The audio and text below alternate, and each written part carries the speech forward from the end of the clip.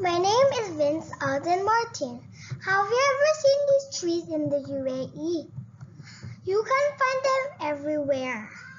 In your village, along the road, in parks, in resorts, and even near the Burj Khalifa. These beautiful trees are called the date palm. The date palm is the signature tree of the desert oasis. The rare shade provider that produces sweet, delicious fruit. The date palm has been crucial to life in the UAE.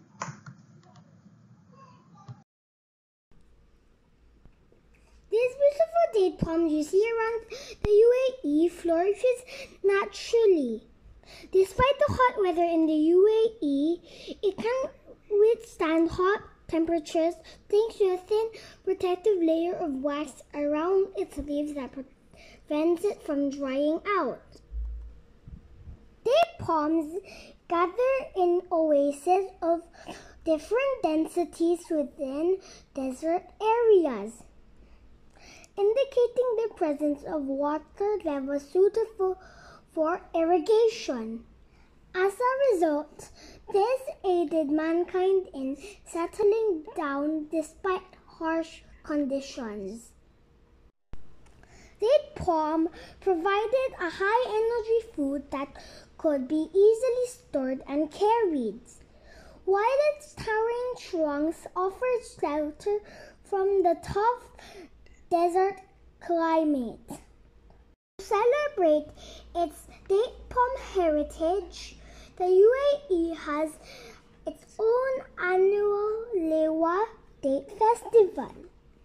It highlights the many ways dates have impacted the cultural heritage and economic life of the country.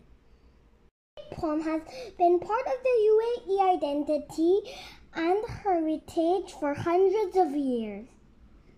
The fruit has been a staple food in the Middle East, and the local Bedouin tribes have earned their livelihood through date cultivation and make the use of the bark and pits as well.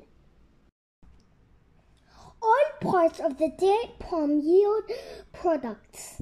Aside from fruits, the date palm is also used as timber furniture, baskets, ropes, packing material, stock feeds, syrup, and vinegar. The date palm is indeed an amazing plant.